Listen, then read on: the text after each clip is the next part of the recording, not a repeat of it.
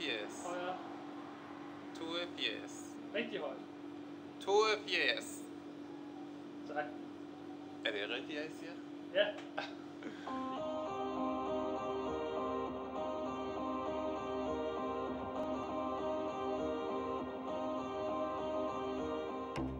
I can do my job in Danish. You know, I can say uh, "Tusen Marlboro" in Danish.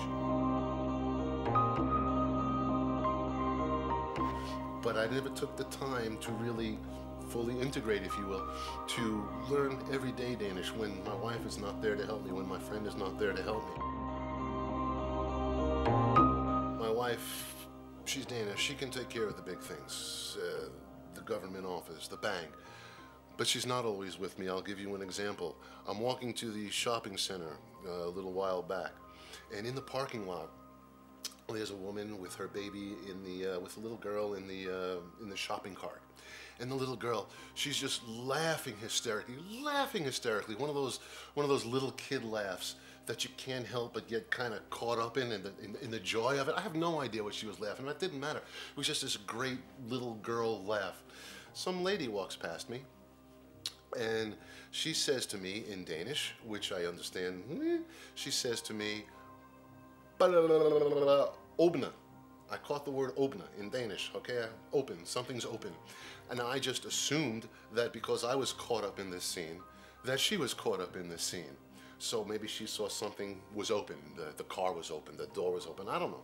I don't know. I just figured, well, she must be into what I'm into there because it was so joyful. So, okay, I go about my business. I go to the store, I buy some groceries, I'm online to pay, and I pay, and I take my backpack off, and my backpack is wide open, wide open. And I'm thinking to myself, frankly, I'm thinking like, goddamn Danish people, man. I'm walking around this whole damn mall, this whole damn store, and not one single person can stop and tell me that my backpack is open, open up. Oh shit. And here I am cursing out a whole country. I'm literally cursing out a whole country because nobody would tell me that my backpack was open. And this woman did. And when she told me, bampa, bampa, bampa, obna, I just looked at her and said, yeah, yeah. and I just kept walking.